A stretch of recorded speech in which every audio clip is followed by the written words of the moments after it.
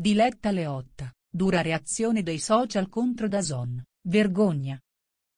Diletta Leotta, gli abbonati di Dazon sono sul piede di guerra, pioggia di critiche e polemiche su social network. Ci sono voluti pochi istanti, perché Dazon finisse in tendenza su Twitter. E anche sugli altri social network, per la verità, non si parla d'altro, gli utenti sono neri, che più neri proprio non si può. E non sembrano avere alcuna intenzione di mandar giù questa notizia restandosene in silenzio. Sebbene manchi ancora la conferma ufficiale, sembra ormai certo che da dicembre non si potranno più vedere i contenuti della TV in streaming su due dispositivi contemporaneamente. Il che costringerà quanti si erano accordati per condividere l'abbonamento a rivedere i propri progetti. Tant'è che il coro, su Twitter e dintorni, è praticamente unanime.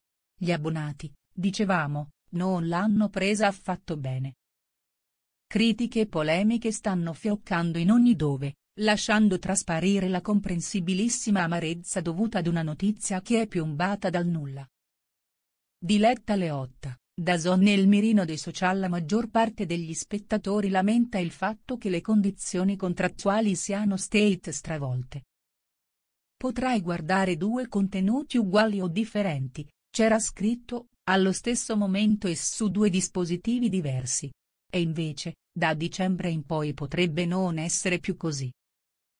A giudicare dai commenti giunti dal popolo dei social, i fan di Diletta Leotta e della Serie A, sono pronti a battersi per rivendicare quello che reputano essere un loro diritto.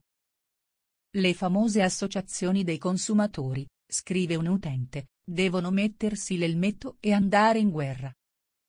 Se questo fosse vero, sentenzia un altro, Riferendosi alla notizia, sarebbe necessaria una rivoluzione degli abbonati, già sfiancati da un servizio spesso imbarazzante. Dimmi che vuoi fallire, recita un ulteriore commento che fa il verso ad uno dei refrain cult dell'ultimo periodo, senza dirmi che vuoi fallire. Vediamo se i club di Serie A, stavolta tuteleranno i tifosi.